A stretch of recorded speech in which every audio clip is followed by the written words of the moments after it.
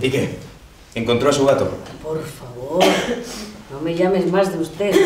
Sé que soy una reliquia, pero tengo aún un punto de coquetería que ni tú ni nadie podrá destruir.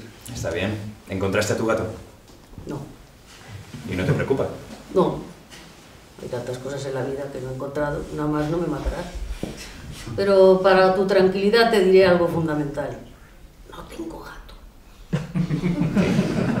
No tengo gato.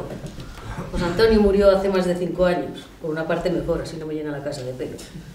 Pero sigo hablando con él, me relaja. Hace el favor de no mirarme como a un viejo loco. Al menos ten la delicadeza de mirarme como a un loco y punto. Me parece triste. ¿Qué es triste? Hablar con alguien que ya no está. Siento decirte que es más o menos lo que tú estás haciendo. Hablar de alguien que ya no está. Ya, pero yo al menos hablo de ese alguien con alguien que sí está. Tú. No te confundas. Yo tampoco estoy. No soy más que un reflejo. Un, un espejismo en mitad del desierto que atraviesas. Háblame de ti. No quiero hablar de mí. Pero yo sí. ¿Cómo eres? Supongo que una persona normal. Márchate entonces. No quiero en mi vida personas normales. Solo deseo seres extraordinarios. Venga, fuera de mi casa. Vamos. Fuera.